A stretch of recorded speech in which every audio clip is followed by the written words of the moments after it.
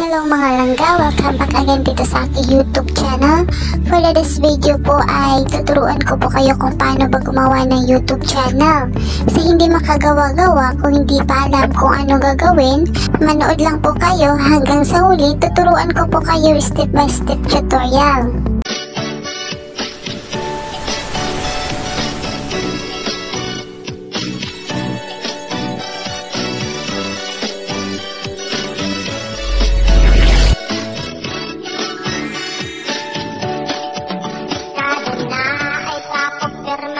Permanente nga matsaok At nalagyaw sa chikit ayuwin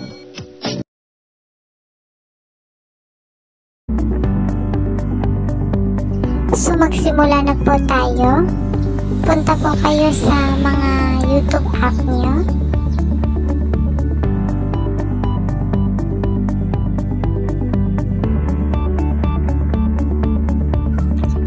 I-click nyo po yung profile na nasa itaas. At i-click po ang add account.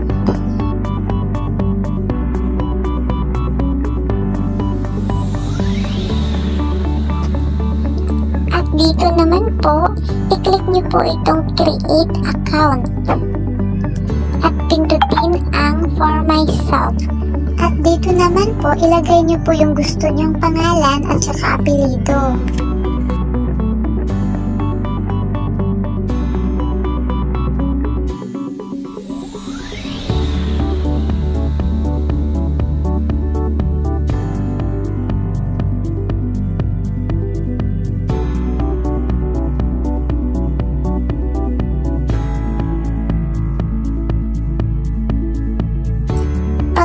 Na kayong fill upan to, i-click nyo lang po itong next.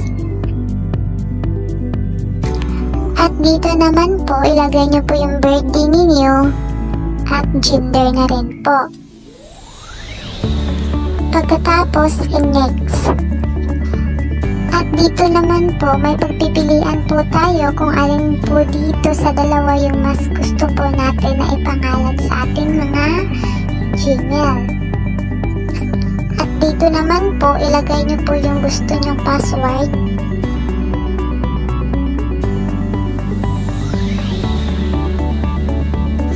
Kapag tapos na kayo maglagay ng password, pwede na po siyang i-next.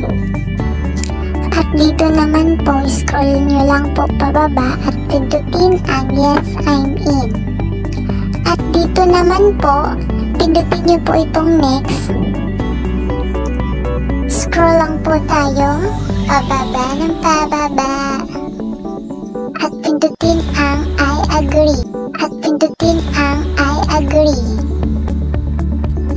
Loading na naman. So ngayon nakagawa na po tayo ng Google. I-click lang po natin itong letter M. Pagkatapos, i-click ang your channel. So dito, kailangan natin na maglagay ng profile picture. So maglagay po tayo dyan. Punta lang po ako sa aking gallery.